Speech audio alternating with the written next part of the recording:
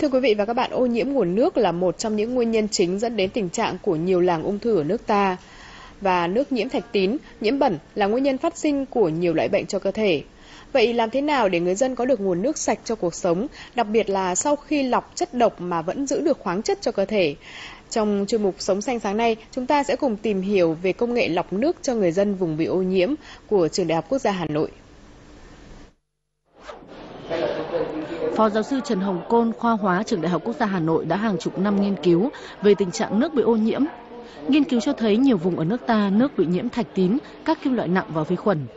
Từ năm 1996, Phó giáo sư Trần Hồng Côn cùng các đồng nghiệp của mình đã nghiên cứu làm sao để có được thiết bị lọc nước uống cho người dân, có thể loại bỏ được chất độc, dễ ứng dụng ở các vùng thiếu điện và thiếu nước. Mặt khác, nước sau khi lọc vẫn giữ được khoáng chất có lợi cho cơ thể. Sau nhiều năm nghiên cứu và không ngừng cải tiến, Phó giáo sư Trần Hồng Côn và các đồng nghiệp đã chế tạo thành công thiết bị lọc nước hoàn toàn sử dụng chất liệu trong nước với công nghệ hấp phụ chọn lọc nano.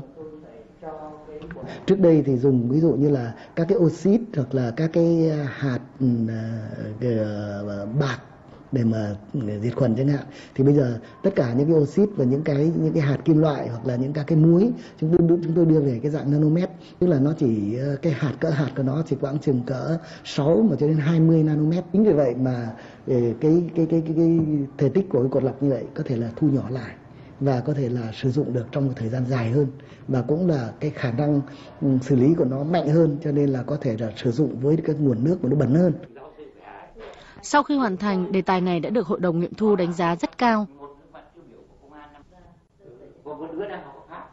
Người ta có thể dùng hàng tháng đấy đúng không? Sau đó rời ra và người ta lại tái sinh. Tức là loại bỏ cái điều đi thì lại tiếp tục lại tiếp tục sử dụng tiếp. Như thế có thể là hãy là bây giờ nếu mình mua của nước ngoài thì phải mua cái phải có khi dùng hỏng để vứt đi được. Còn đây là được sử dụng lại được nhiều lần. Đấy, ý nghĩa của nó được sử dụng nhiều lần và giá thành cho nó hợp lý hơn. Đã có rất nhiều thực nghiệm tiếp tục được triển khai ở các vùng nước bẩn, nước bị ô nhiễm nặng.